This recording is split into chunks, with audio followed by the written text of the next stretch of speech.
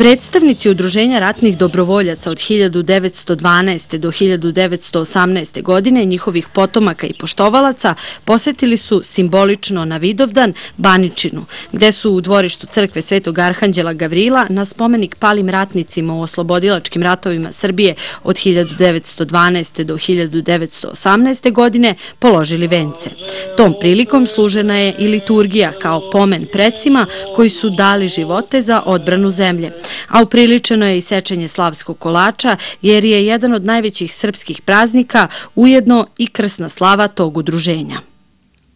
Poštovani baničanci, danas na ovaj sveti srpski praznik Vidovdan, mi smo došli vama u goste da odamo poštu vašim precima koji su položili živote u onim velikim ratovima.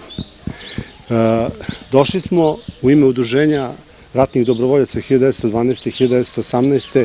njihovih potomaka i poštovalaca da zajedno sa vama ovo obeležimo ovaj dan i da vas pozovemo da ukoliko imate svedočanstva, sećanja na svoje pretke, nam pomognete da ih sačuvamo od potpunog zaborava.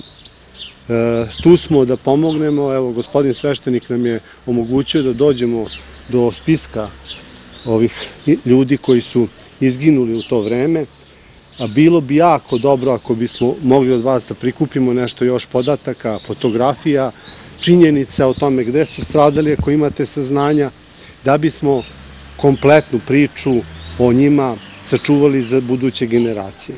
Vidite da se sve brzo zaboravlja, malo nas je danas ovde okupljenih, a kako vidim po, po ovoj svesci, veliki je broj imena, veliki broj porodica čiji preci su negde od 1912. 1918. ostavili svoje živote.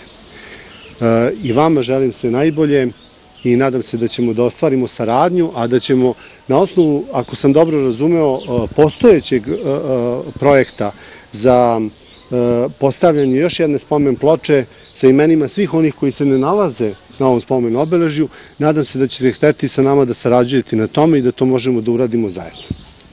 Iz ovog udruženja poručuju da je kolektivno sećanje našeg naroda veoma loše i da brzo zaboravljamo, pre svega pretke iz naše okoline koji su založili živote za buduće naraštaje, a da je upravo svrha ovakvih okupljanja njihov pokušaj da te podatke otrgnu od zaborava.